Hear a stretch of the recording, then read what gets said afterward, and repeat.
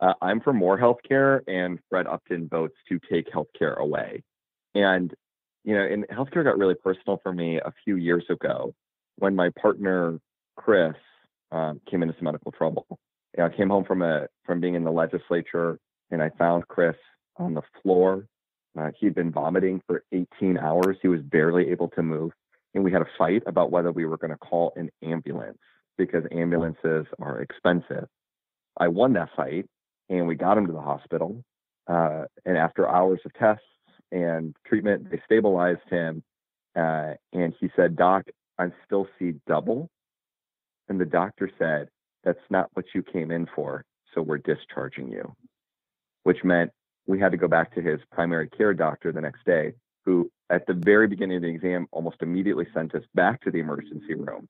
And that led to more tests, MRIs with contrast, MRIs without lab tests, until finally the doctor walked in and said to Chris, I think you have multiple sclerosis.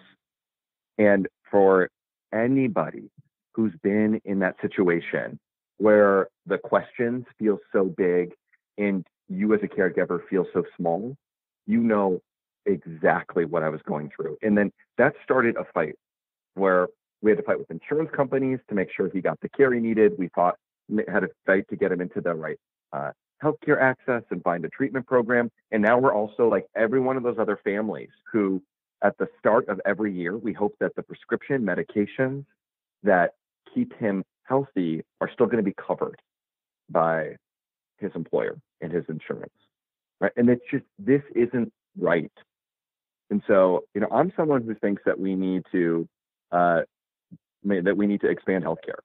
You know, we need to be making sure that we are uh, I've been supportive of, of, ideas like Medicare for all, you know, but I'm an all of the above person when it comes to healthcare. I'm going to vote for whatever we can do today to make healthcare better tomorrow because there's too many people like Chris who have a pre-existing condition, which Fred Upton voted to gut coverage for people with pre-existing condition 12 times.